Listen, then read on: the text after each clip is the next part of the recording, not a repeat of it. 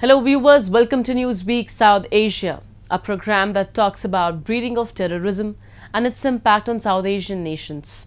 Let's begin with the headlines first. Suicide bombing kills nine policemen in Balochistan. Pakistan continues to push narcotics and weapons into India. And Afghan universities reopen women still banned. At least eight security officers and a civilian were killed and several others were wounded when a suicide bomber triggered an explosion by ramming his motorcycle into a police truck in Pakistan's restive southwestern Balochistan province. The blast was reported from Dadar Tehsil of Kachi district, about 150 kilometers east of Quetta, the provincial capital. The security situation in Pakistan Balochistan province continues to worsen. Recently, a bomb blast in the volatile region killed nine policemen and injured several others. This is the latest in a series of attacks on police personnel in Pakistan. No group had immediately claimed responsibility for the attack.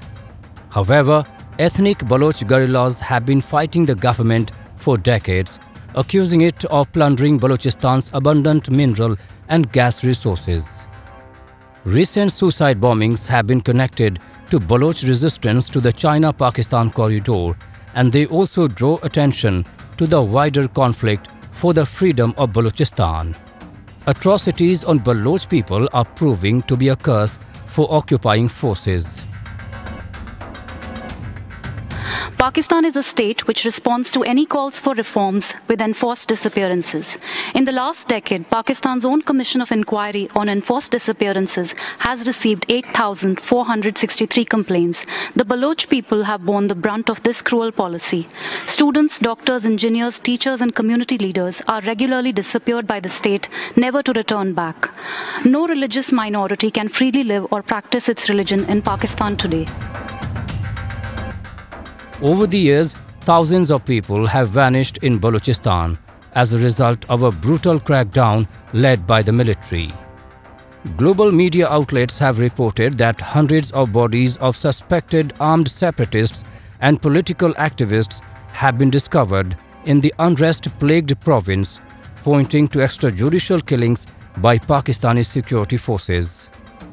The exploitation of resources and oppression of the populace are what fuel the insurgency. But Pakistan, which is in denial, accuses foreign countries like India and Iran of being responsible, a claim which makes no sense. Baloch separatists have been angry at mining and energy projects in the region. They say there are no benefits for them as most new jobs have gone to outsiders while locals, already battling crushing poverty, are being pushed off their land. Baloch separatists have warned China several times to refrain from looting Baloch resources. However, China continues to be involved in its expansionist designs in Balochistan. Nowadays, Pakistan has been abducting Baloch women. In last two uh, weeks or more, more than five Baloch women was abducted by Pakistani security forces.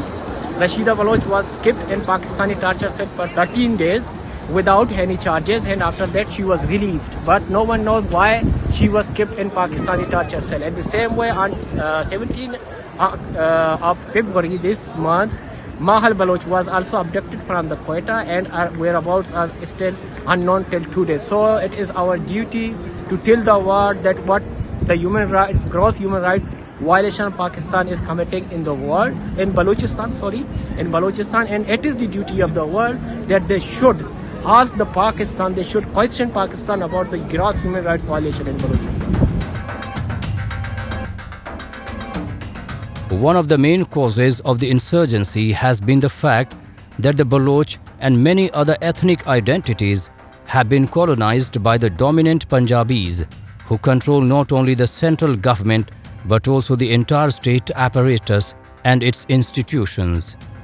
The Baloch have been completely alienated from the state as they are numerically inferior since the population is only about 6% of the total population, while the province covers nearly 44% of the state. The upcoming days may witness additional bloodshed in Balochistan and elsewhere due to the combative posture of Pakistan, China and the Baloch separatists.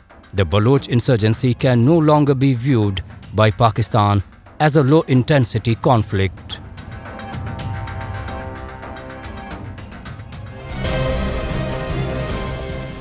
At a time when Pakistan's economy is on the verge of collapse under a huge mountain of debt, China approved a 700 million US dollars credit facility for the insolvent nation. China's age-old practice of debt-trap diplomacy has already alerted nations across the world. And now Islamabad will likely to be cognizant of the dangers of becoming increasingly dependent on Chinese loans. Let's take a closer look at China's predatory lending practices and the significance and ramifications of Pakistan's Chinese debt. With the Pakistani rupee depreciating, fuel prices skyrocketing, and taxes on luxury goods rising, Pakistan has long been sliding into a severe economic crisis. The Islamic Republic is doing everything in its power to access the next installment of the IMF's 6.5 billion loan facility while Pakistan attempts to secure help from the IMF, China extended a 700 million USD loan to Pakistan. The news of the loan from the state owned China Development Bank broke only a day after Pakistan's National Assembly unanimously passed a bill to increase tax revenues. Islamabad's debt to Beijing will now rise, placing the country in a more precarious and compromised position than ever before. The possibility that Chinese loans to Pakistan, Sri Lanka, and other countries in India's immediate neighborhood could be used as leverage has deeply concerned the United States.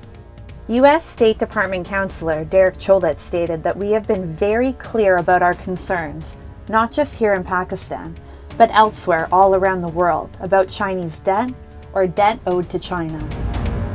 United States of America, as of now, I haven't seen a very proactive approach in order to counter this Chinese debt diplomacy. US, as of now, because of certain factors, may not be positioned to do it alone. There is a requirement for other countries like countries from Europe, country like India, they have to come together in order to look the way the China is trying to shape the international relation as of now. Pakistan, in its 75 year history, has never experienced any meaningful periods of economic stability. Now, with Pakistan struggling with its worst economic crisis in decades, the country is desperate for aid, seemingly pushing any consequences of such aid to the back of the mind. China is already Pakistan's largest creditor, with much of their debt coming under the China-Pakistan Economic Corridor, CPEC.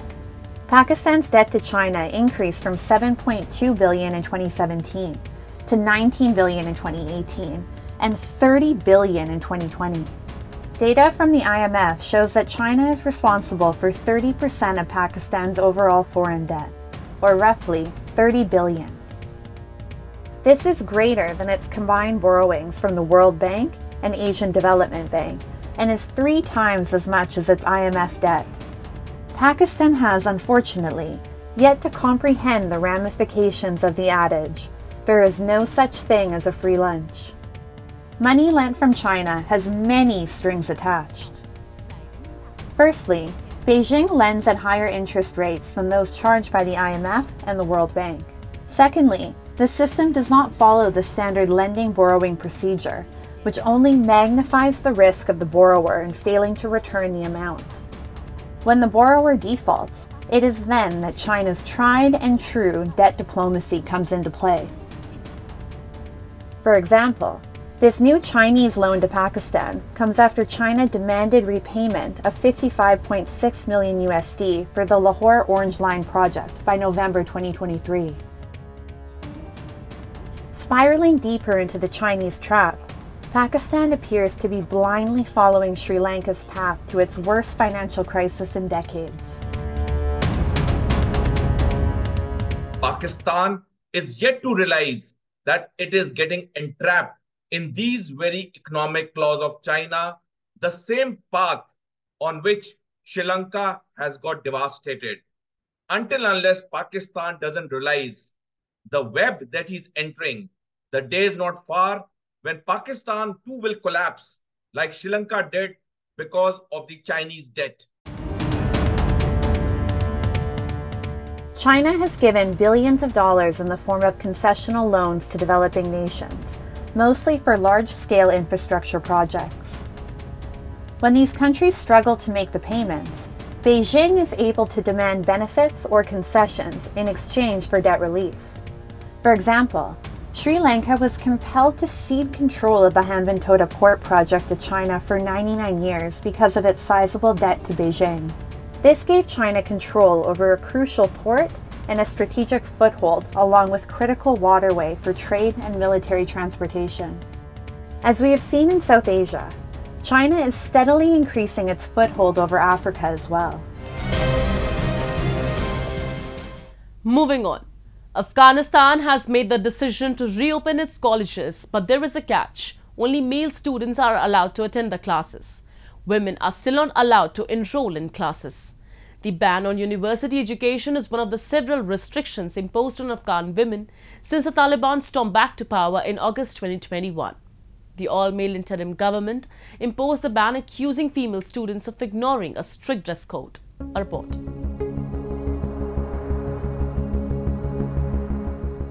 Another blow for the women in Afghanistan. It's the start of the new university term, but only male students are allowed to attend the classes. Afghan girls are still barred from university education. In December last year, the Taliban announced a ban for women from educational institutes. The Taliban government imposed the ban, accusing female students of ignoring a strict dress code and a requirement to be accompanied by a male relative to and from campus. The decision by the Taliban drew widespread condemnation from foreign governments and the United Nations. The UN mission in Afghanistan asked the Taliban officials to immediately withdraw its decision.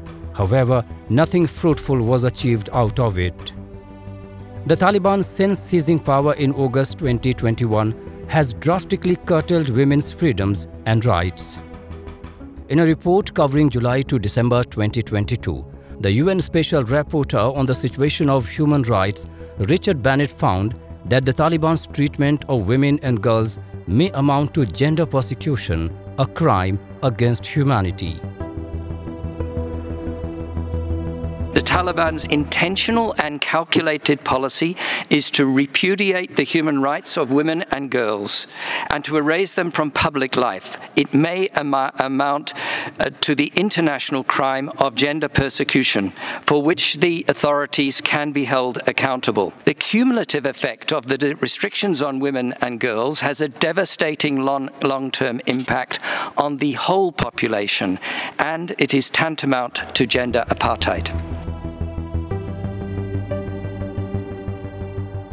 The Taliban, after storming back to power, promised to respect women's rights. But ever since their return, there has been steady streams of setbacks. In March of last year, the Taliban broke their promise to reopen secondary schools for girls. Two months later, women were forced to veil their faces as well as their hair. In September, Women's Affairs Ministry was disbanded. Thereafter, in December, the all-male interim government ordered all foreign and domestic non-governmental groups in Afghanistan to suspend employing women, as some female employees didn't wear the Islamic headscarf correctly. While welcome and necessary in the short term, international humanitarian assistance cannot and should not replace a functioning economy, and this dependency must be addressed. Instead of intensifying its efforts to remedy the situation, the Taliban continues to interfere in aid delivery. I urge them to immediately cease actions that disrupt, disrupt equitable and speedy access to humanitarian aid to those most in need, particularly women and children. The role of women employees is critical in aid delivery. I urge the de facto authorities to immediately lift the ban on women working for NGOs. Afghanistan is the only country in the world where girls are banned from going to high schools and effectively banned from political participation. Today, they have imposed a primitive government with harsh rules, erasing centuries of female progress. The hardliners have denied millions of women the right to an education, fired tens of thousands of women from government jobs, and outlawed their businesses and various forms of activism. A recent analysis by the UN Children's Fund found that prohibiting girls from attending high school also has a financial cost, costing the nation 2.5% of its annual GDP. According to UNICEF, if the 3 million girls in the current cohort finish secondary school and enter the workforce, the Afghan economy would grow by at least $5.4 billion. However, it appears that under the current circumstances, their contribution is headed towards zero.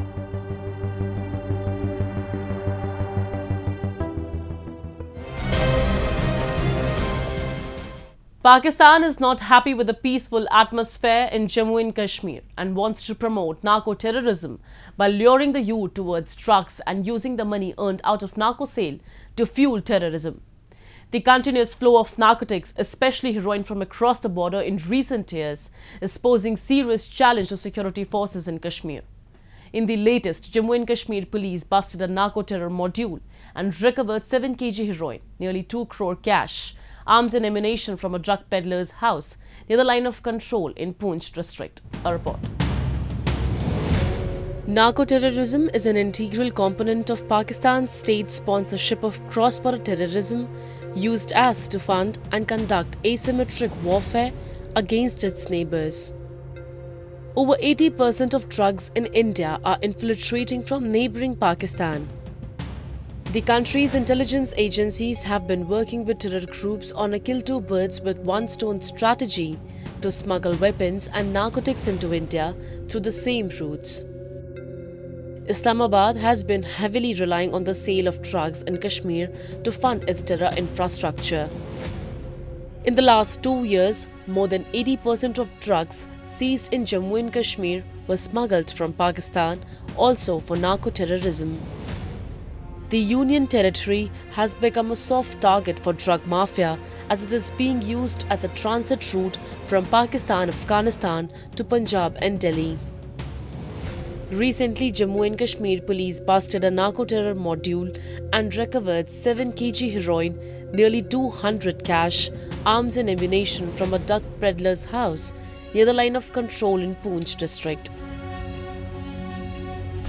तो रफ़ी लाला के बारे में already police को काफ़ी inputs थे कि ये कुछ इलीगल एक्टिविटीज़ और क्रॉस बॉर्डर स्मगलिंग में और नार्को टेररिज्म में इन्वॉल्व है।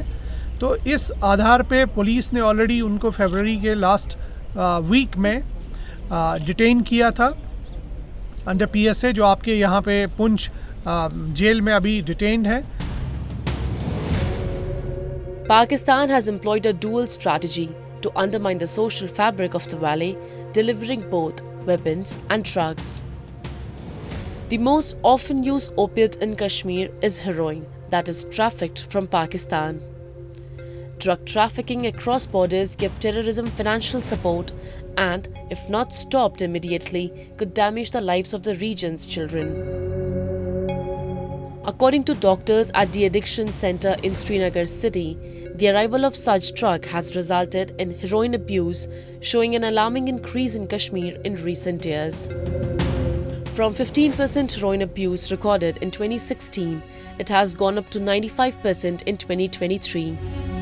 The finances generated from heroin fund separatist activities and spread other centrifugal tendencies Terror module that have been busted in the recent past by security agencies show a most significant challenge to society and security.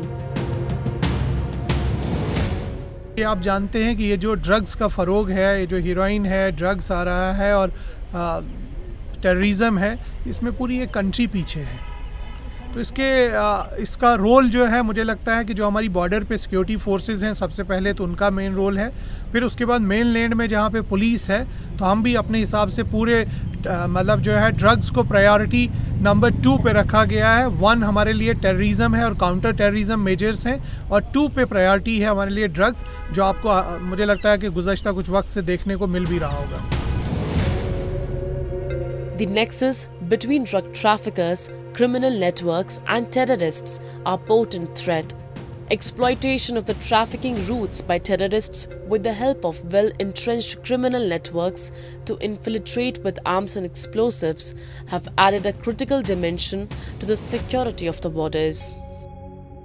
Moreover, large scale availability of narcotics and drugs encourages demand for narcotics and drugs by domestic population consumption of which produces dysfunctional behavior, thereby creating law and order problem in the society. Therefore, India needs to adopt a comprehensive approach to tackle this challenge.